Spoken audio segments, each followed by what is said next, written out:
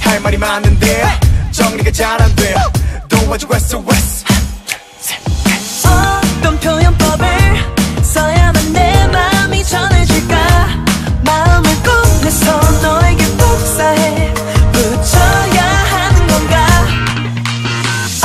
어느 멋진 날에 나에게 짠하고 나타나선 내 맘을 취하고 싶었던 말은 Don't take this the wrong way but 너 말고 난 보여 It's alright, science baby had to